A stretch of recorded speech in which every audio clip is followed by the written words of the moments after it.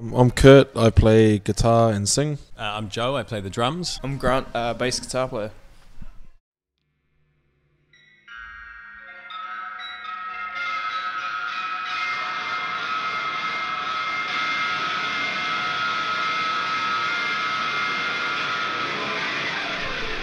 Would you describe uh, the type of music you're playing? Because I, I saw uh, some different uh, opinions. How would you describe uh, by yourselves? Um, trashy noise pop punk. Yeah, surprise punk yeah. or earthquake punk. Yeah, just spastic noise pop. That's exactly what it is, man. You're releasing your music uh, via Antena Krzyku from Poland. How did collaboration uh, begin? How did it start? Uh, one of his bands, Buzz Rodeo, on his label from Germany, Stuttgart, uh, said you should contact this guy in Poland, so I did. And uh, Eric was just, yeah, I like your music, I want to see you live. So we booked some shows together.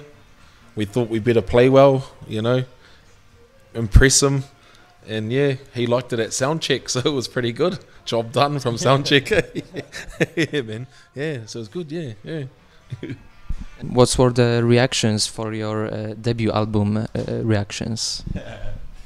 surprisingly good reactions. Yeah. Um, yeah, it's like it's been picked up quite, uh, you know, in a few places. Um, it really, you know, like, yeah, it's been good reactions. Yeah, yeah. From it was released uh, initially, we released it out completely ourselves, and it was all self-funded. And then since then, it's been it was picked up by uh, a New Zealand record label, Press Gang, and then we brought it over to Europe with uh, handmade. Kurt and Grant handmade the CDs on our first tour, and from and now we've got um, Arik with Antena Krzyku has has released it for us as well. So it's been really good reactions. I've seen some teasers of your uh, next album. Uh, how would you describe this this record? It's it's a new style. Um, it's I don't really want to say too much. I'd rather people just listen to it and then you get your perception from there. We don't, you know, it's like as Joe said before, surprise punk. So we'd rather surprise you. You put it on, and from track one, it'll be spastic, noisy, trashy pop punk. Yeah, all that stuff, you know. But as sa- Joel says, uh, what do you call it? Soul and jazz or whatever. yeah, who knows? Yeah. It's actually quite old, to be quite honest. Tetris is old now. We've already thrown away a song off the album that we don't want to play live because we uh, have already started writing the next album. We'd like to stay ahead. So we've toured Tetris three times already.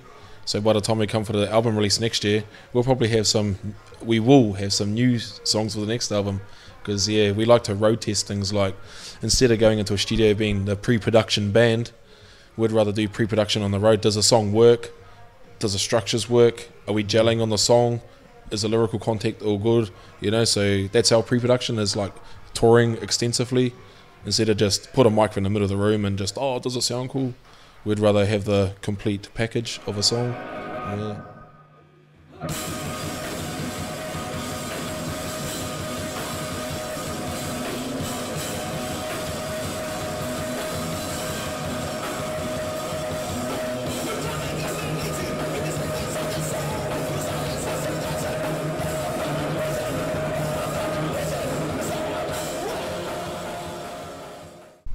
You're from uh, DIY scene.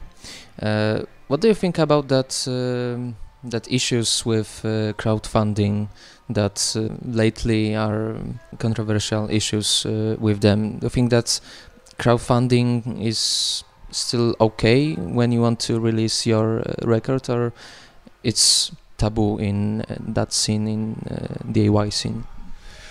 Um, that's a very good question. Um, we are very DIY, like Joe said, cutting CDs out, doing it all ourselves, and like you know, even like the label in Poland, Eric's label is uh, it's still DIY. Um, we have funding schemes in New Zealand, but it seems like I don't know, we're not really in the cool scene, even though we tour extensively. It's it's it's a hard question because at the moment we're gonna try and go for Outward Sound, which is like a very good uh, um, funding scheme in New Zealand that helps you with your touring costs. You know, like plane flights because it costs a lot from New Zealand to come here. Um, yeah, if they if they would help, it would be good. But us being a DIY band, it hasn't really stopped us to be quite honest. You know, like we'll just keep going and going and going and going. You know, like if we want to do something, we believe in it. We just keep doing it. You know, money is not going to throw us off off the railway track. You know, money's just a subject, man. Music is the matter. Yeah. Yeah, uh, we've never really um, we've never really dabbled or, or tried any crowdfunding or crowdsourcing for uh, for money. But uh, I think if if bands if that works for bands, then then that's what works for them. But I think for us, we're happy to pay our own money and work hard to do it ourselves because then at the end of the day, you know that what you put down is yours and you've worked for it, and it's yeah, it feels good when you've worked hard and you see the results at the end. PledgeMe cases, I'm full dead against it to be quite honest. Mm. I'll be 100% honest with you. I'm dead against uh, PledgeMe funds. It's like, why would you do that? You know, like, you don't even know our music or anything if you're, say, from Zimbabwe. I'm just using that. Oh, can you give me money for my music? Well, hold on a minute. I don't even know you. You know, I think you need to put the hard yards in before you actually ask. Like our first European tour, we were like, we basically did it for free.